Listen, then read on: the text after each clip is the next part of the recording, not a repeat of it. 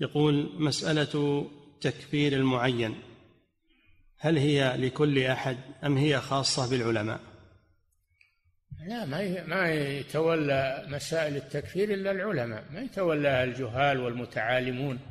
العلماء هم اللي يعرفون كيف يكون التكفير وكيف لا يجوز التكفير. نعم. مسائل خطيرة هذه جدا ما يدخل فيها إلا أهل العلم. نعم.